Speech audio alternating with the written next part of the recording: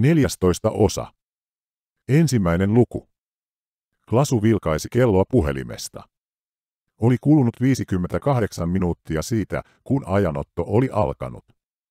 Klasu päätti kysyä kysymyksen, joka oli pyörinyt hänen mielessään jo muutaman minuutin. Kerropas Repa mulle, miksi ihmeessä mä päästäisin sut irti, vaikka sun niska ei räjähtäisikään. Repa jäi miettimään asiaa. Hetken päästä hänen ilmeensä kirkastui. Mä tiedän, missä sun kavereita pidetään lukittuna. Mä voin viedä sut sinne ja vaikka autan sua vapauttamaan ne. Vai niin sä tekisit, Klasu sanoi epäillen. Lisäksi mä tiedän missä teidän autoa pidetään, Repa jatkoi. Vapautetaan miehet, haetaan auto ja painutaan helvettiin koko porukka. Ja ehkä kaljalle sen jälkeen. Mulla ei ole mitään aikomusta jäädä enää sinne.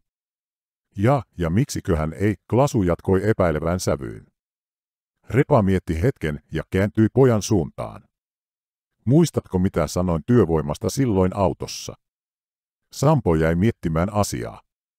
Sanoit jotain, että ne sitouttaa työvoiman niillä implanteilla, Sampo muisteli. No niin. Just niin mä sanoin. Joko nyt uskot, Repa intoili taas Klasun suuntaan. Miksi mä olisin valehdellut pojalle asiasta, kun en tiennyt, että vajata tuntia myöhemmin sä onnistut murskaamaan mun implantin räjäyttämättä mun päätä. En tosiaan tiennyt, että joutuisin todistelemaan sulle jotain. Onhan tuossa jonkinlainen logiikka, Klasu myönsi ja otti huikan oluesta. Hän katsoi kelloa. Oli kulunut tunti ajanoton alkamisesta ja muutama ollut tyhjän vatsaan tuntui jo hieman nupissa. Klasu päätti selvittää, mitä muuta saisi miehestä irti. Mitä muuta sä voit kertoa tuosta paikasta? Tota noin. Jotain hämärähommia siellä tehdään, Repa aloitti. Ei kai sitä aluetta muuten vartioitas niin tiukasti. Siellä tehtaan puolella valmistetaan tavaraa vähän joka lähtöön. En oo tarkemmin sekkailut. Nyt kun oikein mietin, niin en kyllä tiedä, miksi en ole kiinnittänyt huomiota. Ehkä sekin johtui implantista. Se kuulema lähettää aivoihin jotain supplementaalisia viestejä. Subliminaalisia, Klasu veikkasi.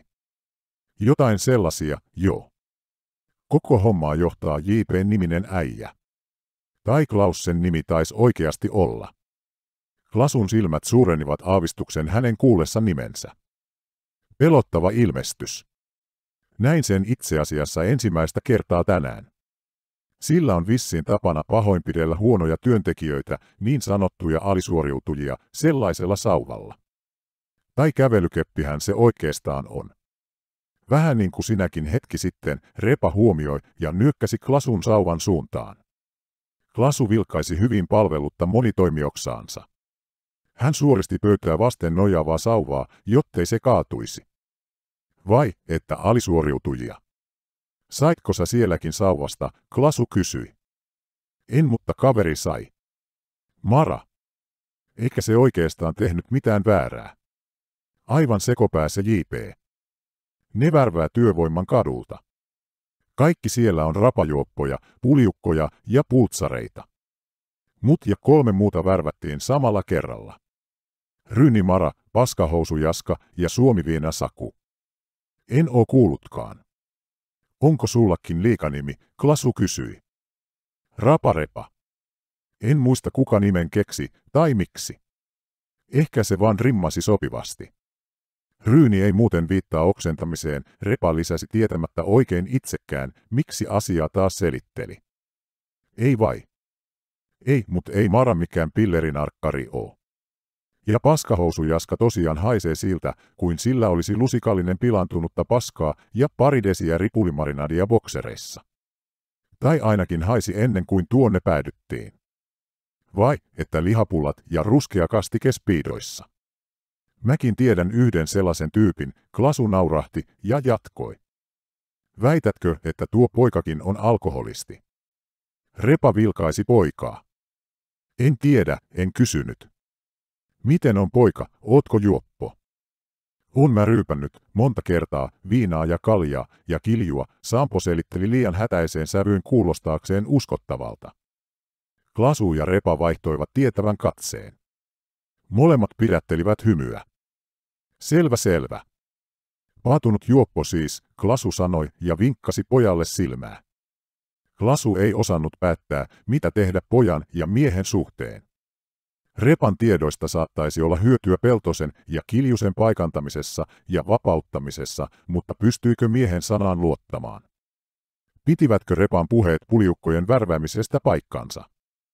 Klasu päätti suorittaa kokeen, tarkistaakseen Repan väittämät siitä, että tämä oli napattu kadulta opiskellessaan puistokemistiksi. Hän kaivoi repusta viimeisen oluen ja naksautti sen auki. Hän huomasi, että Repan katse nauliutui tölkkiin. Miehen ilme oli kiimainen kuin selivaattiin pakotetulla Peter Northilla. Voisinko mäkin saada yhden oluen? Tai edes pienen huikan, Repa kysyi varovasti. Samassa klasusta alkoi tuntua, että miehen saattoi ehkä sittenkin luottaa. Eikä hänellä välttämättä ollut muuta mahdollisuuttakaan. Paskajalan takia pelastustehtävä olisi muutenkin hankala toteuttaa yksin. Ei näitä kyllä ole oikein jaettavaksi asti, kun suurin osa jäi impalaan. No niin kuin sanoin, haetaan sun kaverit ja auto ja lähdetään helvettiin täältä. Niin ja Mara kanssa, mikäli mahdollista. Se on ihan hyvä äijä, vaikkei ehkä ihan penaalin terävin kynä olekaan. Välillä pihalla ku tampoonin naru. Mut niinhän sen kuuluukin olla, Repa filosofoi. Klassu nosti tölkin ja joi sen puoleen väliin. Hän röyhtäisi kovaäänisesti ja ojensi tölkin lähempänä olevalle pojalle. Olutta on kyllä pakko saada lisää, eikä olisi pahitteeksi, jos siinä samalla voidaan vapauttaa Peltone ja Kiljunen. Repa tuijotti pojan kädessä olevaa olutta ja pelkäsi jäävänsä ilman. Klasu huomasi alkoholisti oletetun Anovan katseen. Anna se kalja tuolle, hän ohjeisti poikaa. Sampo laski oluen repan viereen, koska tämän kädet olivat edelleen selän taakse sidottuna. Onko sulla pilliä, repa kysyi lähestyen ongelmaa samoin kuin pyyhemies edellisenä päivänä. Vai että pilliä? Pillin kuristus on kuulin piristys, Klasu naurahti yhtäkkiä päähän pälkähtänyttä sananmunnosta. Täytyy viitata johonkin sadomasohommaan, hän jatkoi pohdiskellen. Jäi toisen takin taskuun. Tai odotas, Klasu sanoi ja alkoi kaivella ikivanhan päällystäkin taskuja. Joo, sori, ei opillia. No voisinko saada kädet vapaaksi sitten, Repa kysyi kärsimättömänä pääsemään tölkin kimppuun. Klasu epäröi. Hän ei ollut edelleenkään varma, oliko mies luottamuksen arvoinen. Lasusta kuitenkin tuntui, että oluen jakaminen oli suuri askel luottamuksen rakentamiseen. Vapauta sen kädet, hän komensi poikaa. Mut, jos yrität jotain, mä huitasen tuolla kepillä niin lujaa, että voi vain arvailla, mihin keppi loppuu ja mistä mies alkaa. Tuliko selväksi? Aasialainen pihvi, Repa sanoi ja nyökytteli innokkaasti. Sampo katsoi Klasua kysyvän näköisenä ja tämä nyökkäsi merkiksi vapauttaa kädet. Jes, Repa hihkaisi innoissaan. Mä en oo saanut peruslageria pitkiin aikoihin. Repa väänsi kätensä kohti Sampoa, joka rupesi näpräämään auki aiemmin tekemänsä solmua. Oikeastaan se oli vain jäykkä kahden kuparilannan punos, ei niinkään solmu. Pian kuparilannan pätkä kolahti kevyesti lattialaudoille ja Repa alkoi hieroa ranteitaan. Kauan hän ei malttanut punaisia painaumia hieroa, kun jo nappasi oluen käteensä, nosti sen nenänsä alle ja nuhkaisi. Suu levisi hymyyn paljastaen hampaat. Repa otti säästelijän hörpyn, pyöräytti oluen ikenien kautta ja vapautti nesteen ruokatorven vietäväksi. Kiitos, hän sanoi vilpittömän kuuloisena. Lasu päästi jonkinlaisen murahduksen vastaukseksi. Repa laski tölkin varovasti lattialle ja hieraisi vielä ranteitaan. Hän kurkotti lattialla lojuvan sukan käteensä ja alkoi kiskoa sitä jalkaansa. Kamiena oli pitänyt pahimman kylmän loitolla, mutta varpaat tuntuivat viileiltä. Miksi helvetissä multa on otettu sukka ja kenkä jalasta, Repa tiedusteli saatuan sukan takaisin jalkaansa. Sampo tunsi väristyksen, kun mieleen palasi sukan kiskominen Repan jalasta. Poika teki likaisen työn, Klasu selitti. No kun sä käskit, Sampo puolusteli. Ja sä uskoit. No uhkasit työntää tuon sauvan mun perseeseen. Enhän mä nyt niin olis tehnyt. En mä mikään, no niin, riittää jo, Repa keskeytti kinastelun. Hän nappasi kengän käteensä ja sujautti sen jalkaansa. Tölkki nousi huulille ja Repa otti säästelijän hörpyn. Hän käveli Klasun luo ja ojensi kätensä. Raparepa. No hard feelings. Klasu tuijotti hetken epäileväisenä, tarttui sitten miehen käteen ja esitteli itsensä. Klasu. No feelings. Repa päästi hyväksyvän murahduksen ja etsi katseellaan istumapaikkaa. Eikö täällä jumalauta ole toista tuolia? Eipä taida olla. Ja tätä et kyllä saa, Klasu sanoi. Hän nappasi puhelimensa taskustaan nopealla ranneliikkeellä, ravisti ledin eloon ja tarkasti sen valossa pientä tilaa. Takaseinää vasten oli yksinkertainen sänky, joka ei näyttänyt erityisen kutsuvalta, pölyineen ja hämähäkin seitteineen. Sängyn alta pilkisti valkoisena elämänsä aloittanut, mutta sittemmin tahrintunut yöastia. Sekään ei näyttänyt erityisen kutsuvalta, mutta alleviivasi sitä tosiasiaa, että Klasun rakko alkoi olla viritetty äärimmilleen. Mikäs tuo on, Repa sanoi, laskien samalla oluensa pöydälle ja käveli sängyn päätyyn.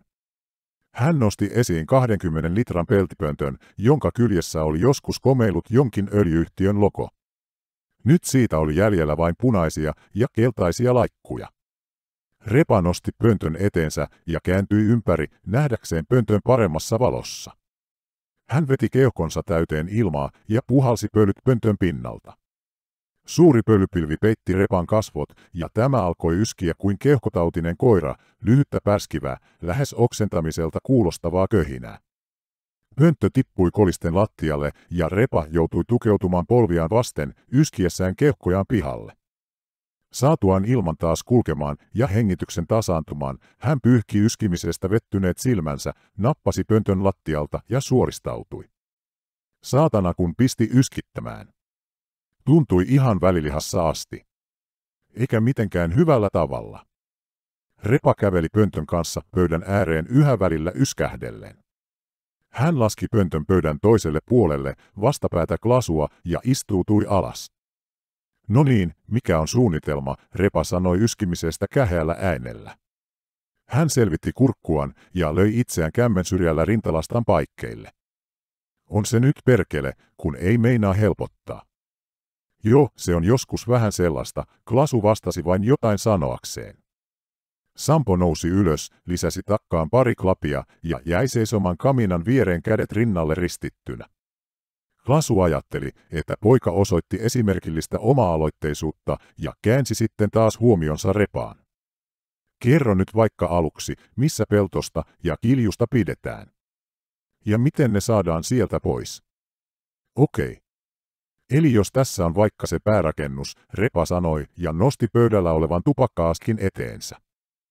Ja tässä on vake, hän asetti sytkärin tupakkaaskin viereen. Klasu katsoi miestä kysyvän näköisenä. Sanoitko vake? Niin, eli siis vartiointikeskus. Ja mun kaveritko on siellä jossain putkassa. No ei nyt ihan niinkään. Tai on ne siellä, mutta ei siellä mitään putkaa ole. Sellainen komero vaan. Vai niin? Ja miten me saadaan ne sieltä ulos? Se onkin hyvä kysymys. Se ovi on lukittu ja avain on pollarilla. Mitä? Onko milisitkin sekaantunut tähän? Ei kun pollari. Risto Pollari, Repa selitti. Hän tajusi juuri esitelleensä esimiehensä samoin kuin tämä olisi itse itsensä esitellyt. James Bondin tyyliin. Repa pohti miten saisi avaimen pollarilta. Vaikeaksi tämän tekee se, että mulla ei ole asettani, hän tuumi. Se olisi kyllä varmasti helpottanut hommaa huomattavasti. Missäs impalaa pidetään? Repan nosti tölkin sytyttimen oikealle puolelle. Tuolla. Ja mistä päin sinne monttuun taas ajettiinkaan, Klasu tiedusteli. Repa suoristi kellon alas johtavan rampin merkiksi. Tämä on itäinen tie, mutta tuolta montun länsireunalta johtaa isompi tie pois. Mun mielestä meidän kannattaa käyttää sitä, jos ja kun pääsemme pakenemaan. Niin ja sitten olisi vielä se tapaus Mara. Mä haluaisin hakea sen mukaan. Se on sairastuvalla, kun se sorapillu myrkytti sen. Mikä? Sanoitko sorapillu, Klasu naurahti. Mistä tiedät, että se Mara haluaa lähteä mukaan? Onko silläkin sellainen sitouttamisimplantti? Onhan sillä. Meillä kaikilla on, Repa myönsi ja jäi miettimään asiaa.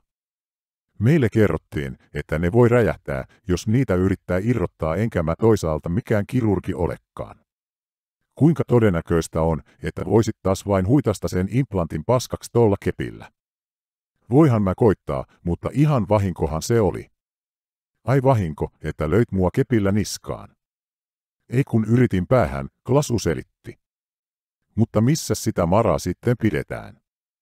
Sairastupa on vastapäätä autovarikkoa. Okei, Klasu sanoi ja nojautui taakse tuolissaan. Hän kaivoi askista tupakan ja sytytti. Kaikki säpsähtivät, kun fasaani kiekaisi ja pörhisteli kovaäänisesti siipisulkiaan jossain mökin nurkalla. Saatanan fasaani, Klasu ja Repa sanoivat yhteen ääneen. Molemmat naurahtivat. Onko toi teidän kulkuneuvo, kun tuolla pitää meteliä? Jo, transporterissa on pari ylimääräistä reikää pakoputkessa. Taitaa olla joka tapauksessa parempi lähestyä aluetta kävellen, Klasu tuumi. Totta. Ikävä kyllä monttuun ei taida päästä kuin jompakumpaa ramppia pitkin. Ja kummankin läheisyydessä on vartiokoppi. Nyt siellä on tosin pulaa vartioista.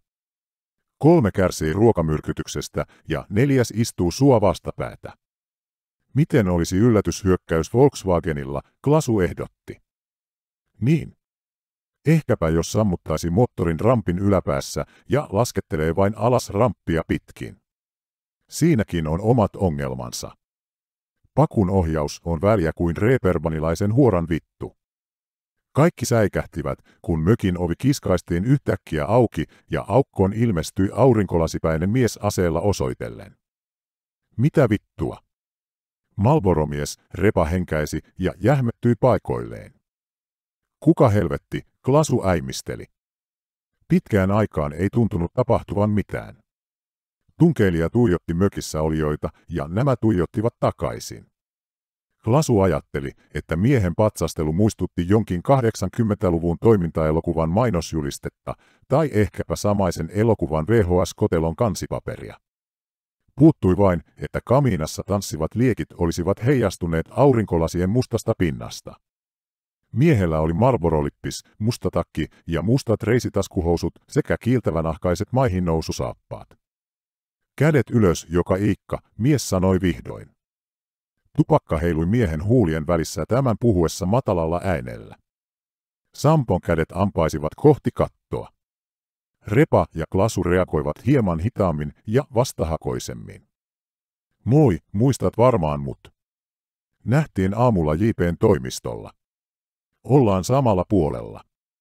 Kato nyt punainen takki ja kaikki, Repa yritti.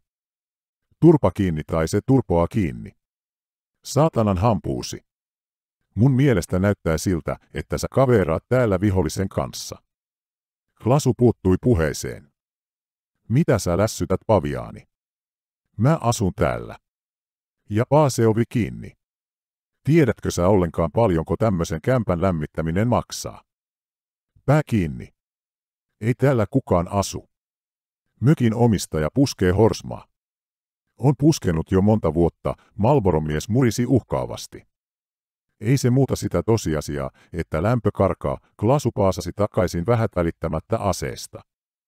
Pane se saatanan ovi kiinni, tai mä tungen sen poikittain sun perseeseen ja nostan sen jälkeen takas saranoille, Klasu uhosi.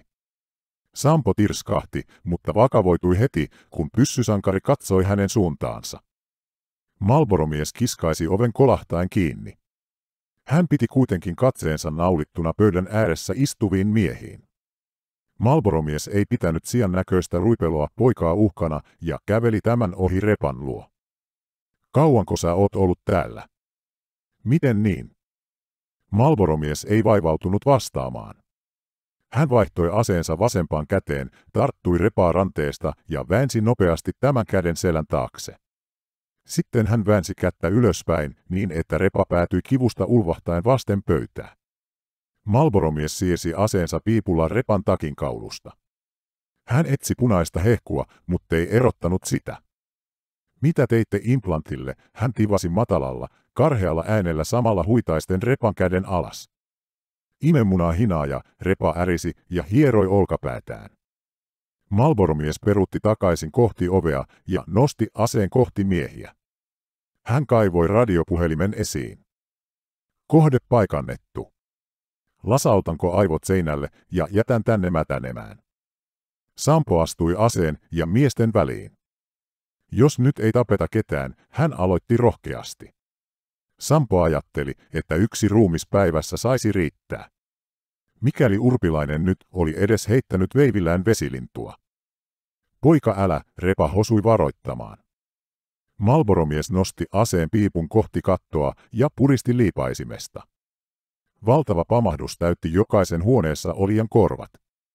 Katosta satoi puu ja päresilppua ympäriinsä ja mökin tunkkaiseen ilmaan levisi ruudin haju. Kaikki lähimaastossa oleilevat linnut lehahtivat lentoon. Sampo kavahti sivuun. Hänkään ei ollut valmis kuolemaan tänään. Laukauksen kovan äänen jälkeen mökin täytti hiljaisuus, jonka rikkoi vain korvien lievä soiminen. Malboromies nosti radiopuhelimen takaisin suunsa eteen. Pollari, kuuletko? Ei täältä saa yhteyttä, Repa sanoi hetken kuluttua. Kaikki tuijottivat vaiti toisiaan. Sitten Klasu rikkoi hiljaisuuden. No, Malboromies, mikä on suunnitelma? Lähdetäänkö helvettiin täältä vai jäädäänkö tänne venyttelemään esinahkojamme? Ja jos jäädään, niin laske tuo paukkurauta alas, ettei vaan satu vahinkoa, Klasu kehotti. Päästä ainakin poika menemään, Repa ehdotti. Sillä ei ole osaa eikä arpaa tähän. Ja päästäisin sen suoraan poliisin puheille. Ei tuu kesää, Malboromies murisi. Hän ei ollut varma miten edetä, mutta siitä hän oli varma, että poika pysyisi mukana. Malboromies vilkaisi vielä radiopuhelinta ja tunki sen sitten takaisin taskuunsa. Nouskaa ylös, hän komensi. Repa joi tölkkinsä tyhjäksi ja nousi ylös. Hän katsoi Klasua silmiin ja sitten merkitsevästi pöydällä olevia tavaroita. Repa kääntyi ympäri ja jäi tarkoituksella seisomaan Klasun ja Malboromiehen väliin. Lasu sujautti nopeasti Sampon puhelimen ja kellon pitkän takkinsa taskuun ja nappasi vielä tupakat ja sytkärin käteensä. Niitä hän ei vaivautunut piilottelemaan. Lasu heitti repun olalleen ja tarttui kainalosauvaansa. Mitä siellä repussa on, Malboromies kysyi epäluuloisena. Pornolehtiä, Klasu vastasi. He he. Niin varmaan. No on on, Klasu vakuutti. Hän tunki kätensä reppuun ja heitti päällimmäisen lehden kohti epäilijää. Malboromies ei tehnyt elettäkään ottaakseen koppia, vaan huitaisi lehden lattialle sen tullessa kohti. Hän vilkaisi alas ja huomasi tuijottavansa jättimäisiä hinkkejä. Vai niin? Jep, pornolehtiä, Klasu sanoi heilauttaessaan repun takaisin olalleen. No, joko mennään, hän kysyi. Malboromies tökkäsi oven auki ja viileä ilma pyrki heti sisään. Sinä ensin, hän sanoi ja hoputti Klasua aseen piippua heilutellen. Klasu ei nähnyt muuta vaihtoehtoa kuin totella ja hän lähti heilumaan kainalosauvansa kanssa kohti avointa ovea. Sinä seuraavaksi ja sitten poika, Malboromies jakoi ohjeita. Repa mulkaisi miestä happamasti kävellessään ohi. Kai sä tajuat, että ne kontrolloi meitä niillä implanteilla, hän sanoi. Turpa kiinni ja painu sinne pihalle, Malboromies murisi.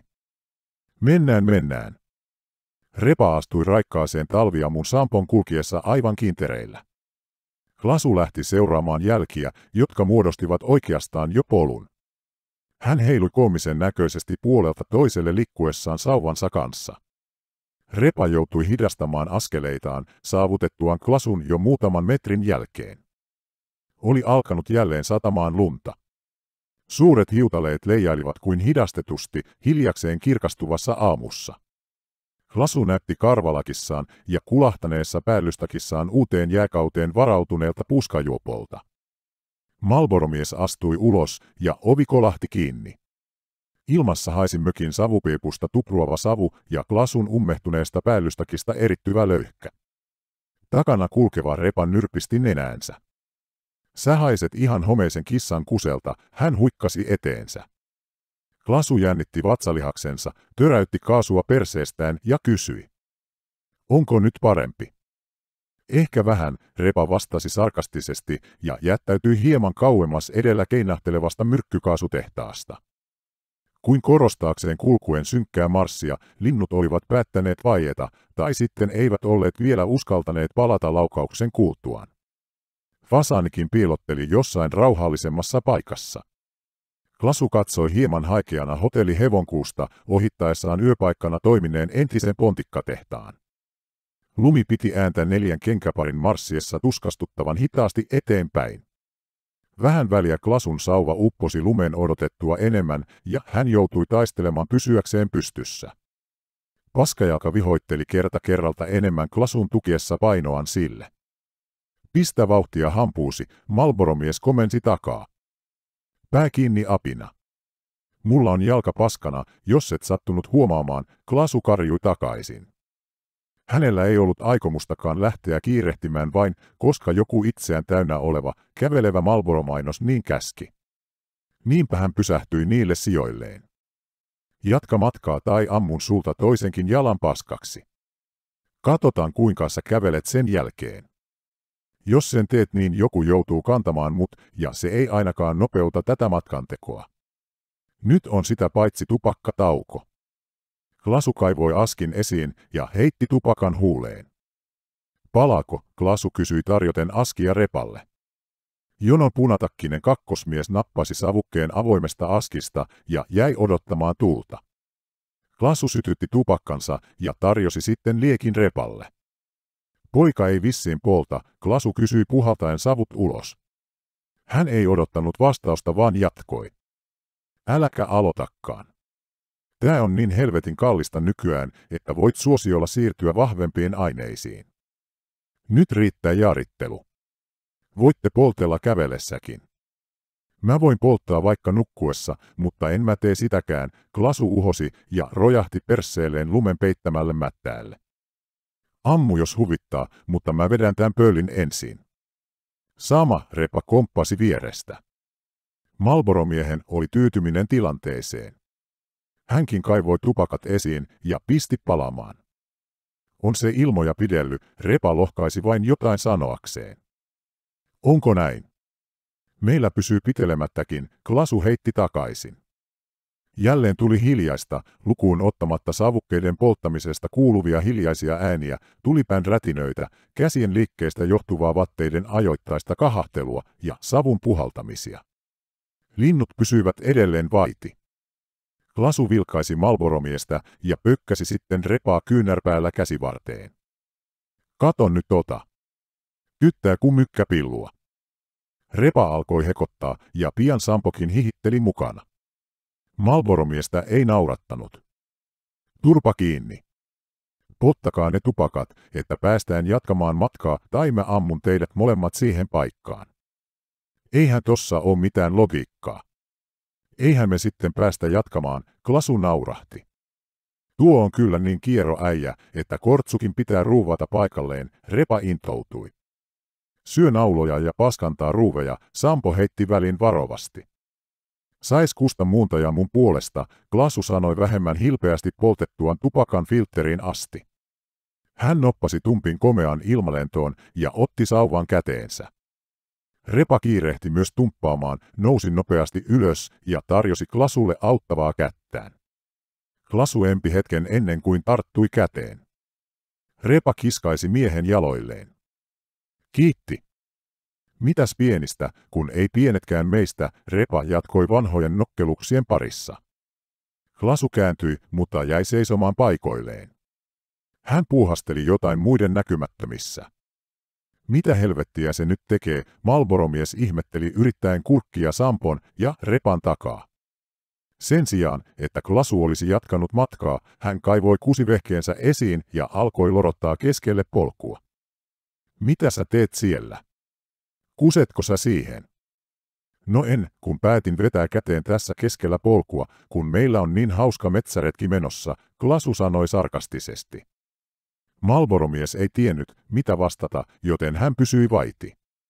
Noin minuutin päästä hän ei enää malttanut olla hiljaa. Paljonko sitä nyt tulee? Ottaahan se aikansa, kun kepillisen heittää. Mutta ymmärrän kyllä, että ethän sä voi pienimunasena tietää tällaisia asioita, Klasu sanoi vittuilevaan sävyyn, ravistellessaan viimeiset pisarat pois. Teen sulle kohta toisenkin reijän siihen rakkoon. Älä revi reisitaskuhousuja spelle. Mennään mennään, mutta edetkää varoen tai olette pian kaikki kusessa. Vittu, mä kyllä ammun sut ensimmäisen tilaisuuden tullen, Malboromies murisi hampaidensa välistä. Lasu heilautti itsensä kömpelösti sauvansa varassa lumeen sulaneen kohdan yli. Repan kulmakarvat kohosivat kaariksi, kun hän näki Klasun lumeen sulattaman alueen. Teos olisi voinut olla suoraan Picasson siveltimestä. Repa lähti rohkeasti liikkeelle ja onnistui harppaamaan kusiesteen yli. Sampo loikki kuin piripäinen kauris väistäen sulan, mutta Malboromies ei suostunut loikkimaan kenenkään pilin mukaan, joten hän läiskäytti Maiharin mielenosoituksellisesti keskelle kusialuetta. Transporterin ääni voimistui vähän vähältä. Se peitti alleen kaikki muut äänet ja pelotti pois loput ääntelehtiät. Pian vaalean sininen pakettiauto pilkisti puiden ja lumisateen seasta. No vittu, vihdoinkin saatana, Repa sanoi nähdestään auton klasun takaa. Niinpä. Tää paskajalka vittuilee niin kuin ainoan käpynsä hukannut orava, Klasu sanoi. Klasu otti viimeisiä askeleita päästäkseen tielle, mutta upposikin polvian myöten ojaan. No voi nyt vitulla päähän, Klasu karjaisi turhautuneena. Repa ja Sampo kiiruhtivat auttamaan. He kiersivät kauempaa välttääkseen syvimmän kohdan ja auttoivat Klasun ylös ojasta tieltä käsin. Olisin kyllä päässyt itsekin ylös, Klasu vakuutteli. Repa ajaa, Malboromies komensi takaa. Te kaksi. Sikaosastolle. Klasu klinkutti keppinsä kanssa sivuovelle auton toiselle puolelle ja kiskaisi oven auki. Lämmintä ilmaa tulvahti kasvoille. Sisätilan valo syttyi hetkeksi ja sammui sitten pysyvästi. Ei tänne mahdu, täällä on mopo, Klasu huusi. Painu sinne vaan tai mä tungen sut sen mopon tankkiin, Malboromies sanoi uhkavan matalaan sävyyn. Sampo hypähti pakun sisään ja alkoi repiä kyljelleen luisunutta mopoaan ylös. Hetken ähellettyään hän sai mopon nojaamaan seinää vasten. Klasu heitti autoon ensin reppunsa ja sitten kepin, joka laskeutui kolisten lattialle. Hän tarttui kiinni karmeihin ja ponkaisi ylös vaivaloisesti. Näytti jo siltä, että Klasun jalka lipeäisi takaisin tielle, mutta hän ponnisti itsensä ylös reunalta. Klasu rojahti takaosaan puutatulle kovalle penkille ja samassa ovi hänen takanaan heilahti kiinni. Pian etuovet aukesivat ja repa kiipesi kuljettajan paikalle. Apukuskin paikalle ilmestyi ensin ase ja sitä seurasi Malboromies. Miehellä paloi uusi savuke huulien välissä. Kaimäkin sitten poltan, Klasu sanoi heti ja kaivoi tupakat esiin. Mä luulin, että teillä kaikilla on punaiset takit, Klasu sanoi osoittaen Malboromiehen mustaa takkia. Luuletko sä olevas kovakin jätkä, kun pukeudut vaan mustaan? Otko joku kottitonttu? Helvetin pelle. Ase kääntyi osoittamaan Klasua. Malboromies tuijotti hetken, laski sitten aurinkolasejaan ja paljasti silmänsä. Lasu hätkähti nähdessään sumeat silmät, jotka olivat kuin harmaan kaihin peitossa. Silmien ympärillä oleva iho näytti samalta kuin palovamapotilaiden palanut iho, joka oli vasta paranemassa. Lasun mieleen tuli ajatus ihon alla luikertelevistä mädoista. Tuijotus oli aavemainen, eikä Klasu saanut sanaa suustaan. Miten ihmeessä tuo näkee yhtään mitään noiden aurinkolasien takaa, varsinkin kun silmät on tuossa kunnossa, Klasu mietti. Oliko mies jokin edistyneempi malli punatakkisesta kommunistitontusta? Paranneltu malli, niin kuin Terminaattori 2 nestemäisestä metallista koostuva T-1000. Malboromies nosti lasit takaisin kummitussilmiensä peitoksi ja jäi istumaan puoliksi taakse kääntyneenä. Hän käänsi aseen repaa kohti, mutta piti samalla silmällä takana olevia. Aja, hän komensi. Repa rusautti vaihteen silmään ja lähti sutien matkaan. Paku heilahteli sohjoisella pikkutiellä puolelta toiselle. Lasu kumartui Sampoa kohti. Näitkö sen silmät? Joo, mitä vittua? Onko se joku zombi? No ei nyt ehkä zombi kuitenkaan. Onko nyt myöhäistä sanoa, että en mä ehkä haluakaan töihin tuonne, Sampo kysyi tietäen hyvin vastauksen. Repa saapui montun reunalle ja lähti laskettelemaan alas jyrkkää ramppia.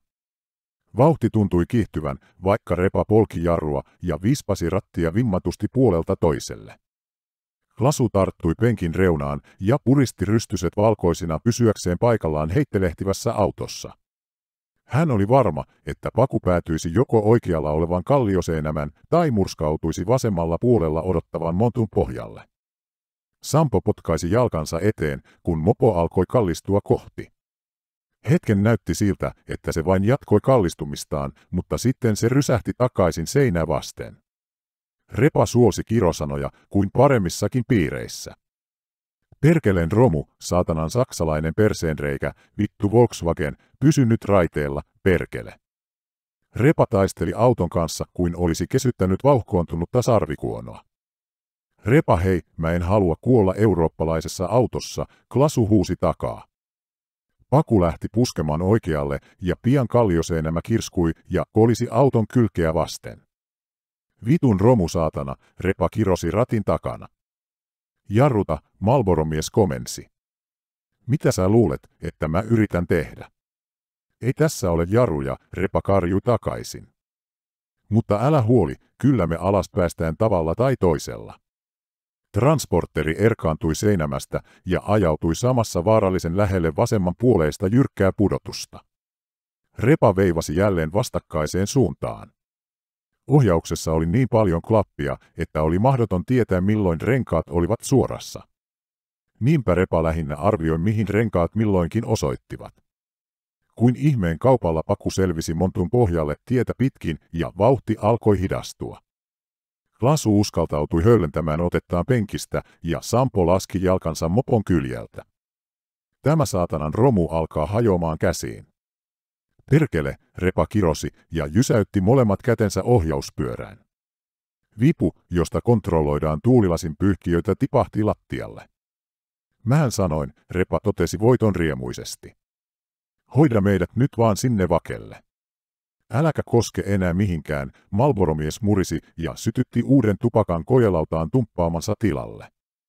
Repa aloitti telakoitumisen moottoriarrutuksella vaihtaen koko ajan pienempää vaihdetta. Lopulta hän polkaisi kytkimen pohjaan ja paku rullasi vapaalla viimeiset metrit ennen kuin pysähtyi nytkähtäen kinokseen. Repa sammutti kovaa ääntä pitävän moottorin ja huokaisi syvään. Saatanan romu, hän kirosi vielä ennen kuin tökkäsi ovensa auki ja hyppäsi hankeen. Ulkona soi tuttu heiton tuukot. Repa kosketti niskaansa ja murskattua implanttia. Kohta tuntui aralta iskun jälkeen, ja hän mietti paljonko rikkinäistä elektroniikkaa hänellä oli niskassaan ja voisiko se vielä räjähtää. Malboromies astui ulos omalta puoleltaan ja kiskaisi takaoven auki. Ovi heilahti sivuun sellaisella voimalla, että se tipahti kiskoiltaan. Tulkaa ulos sieltä. Tällä kertaa Klasu ei käynyt väittämään vastaan. Arpikudoksen ympäröimät kaihisilmät olivat syöpyneet hänen mieleensä. Mikä ihme tämä terminaattoritonttu oli miehiään? Klasu tuli ajatelleeksi, että ehkä hän sittenkin makasi vielä tajuttomana mökin lattialla.